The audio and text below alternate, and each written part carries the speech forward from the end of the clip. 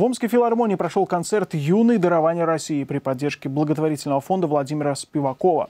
На сцене выступили и воспитанники детской школы искусств номер 6, которой накануне было присвоено имя Евгения Светланова, великого дирижера и композитора. Его произведения исполнили музыканты Омского академического симфонического оркестра и стипендиаты фонда. Екатерина Клемьязьева продолжит. Семилетний Никита нотную грамоту только начал осваивать. В музыку привела мама, но Никите так понравилось, что теперь ни одного занятия не пропускает. Ну, это ключ к большим делам, что кем хочешь уже можно стать.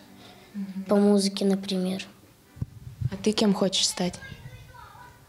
Если честно, то инженером. В искусстве действительно остаются не все выпускники детской школы искусств номер 6, но если остаются, добиваются успеха. В прошлом году в список лучших школ искусств России попала и ДШИ номер 6. За многолетние заслуги ей присвоили имя великого дирижера Евгения Светланова. Вы должны понимать, а мы это понимаем, ответственность, которая лежит в нашей школе, пути развития искусства безграничные, вы должны быть в этом на передовых позициях. Народный артист СССР Евгений Светланов 35 лет руководил главным симфоническим оркестром страны. После смерти дирижера в 2002 году оркестр назвали в его честь. Имя Светланова носит и зал Московского дома музыки, и самолет, и даже одна из планет. То, что его имя теперь носит детская школа искусств – событие. Он дирижировал те произведения композиторов, которые по своему художественному значению, может быть, стоят далеко не в первом ряду.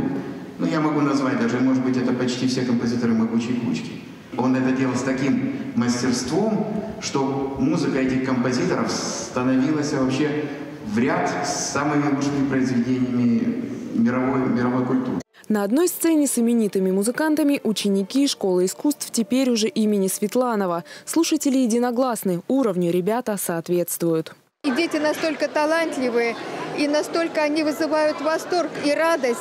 Ну, просто вот эмоции, они очень положительные. Вот они с таким каким-то внутренним огнем, э, с внутренним достоинством, ну, у меня вот такое чувство, что у них большое будущее. То есть это не красивые слова, это действительно уровень. Финал концерта показал, детям, хоть и талантливым, есть к чему стремиться. Одно из главных произведений Светланова – симфоническую поэму «Калина красная» исполнить могут только профессионалы.